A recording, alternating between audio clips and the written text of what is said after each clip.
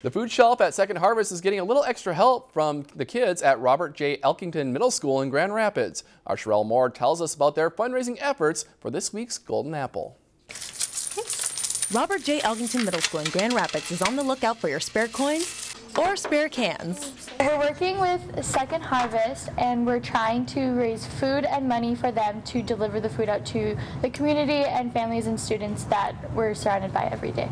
We talked about how it keeps it local, how when they donate they're providing so many meals for so many hungry people and there's people in the building that take advantage of it and, and uh, it's helping people near them.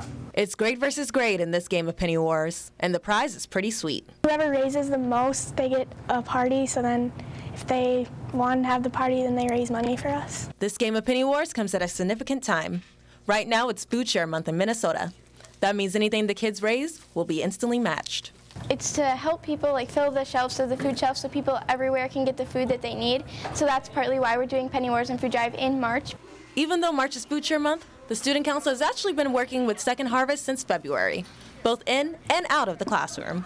We went to Second Harvest and we packaged food for the people um, to be spread to the public. We packaged cereal, onions, and we sorted green beans. So we did that, so we volunteered there for a few hours.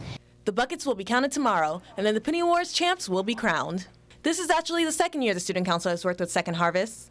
Last year, J. Elkington raised more than $5,000 for the food shelf. This year, they're hoping to beat it. We're watching the kids grow into leaders in the community, uh, taking an active role in helping out people around them and seeing where their money goes and, and keeping it local and, and seeing what kind of effect it can have. And you never know. Working with Second Harvest may just become a tradition at J. Elkington. I think next year we're probably going to do this again because it's such a fun experience to do everything that we're doing. So I think that the sixth graders that might join student council next year and the seventh graders that are going to become eighth graders are going to really like doing this another year. Reporting in Grand Rapids with this week's Golden Apple, Sherelle Moore, Lakeland News. If you enjoyed this segment of Lakeland News, please consider making a tax-deductible contribution to Lakeland PBS.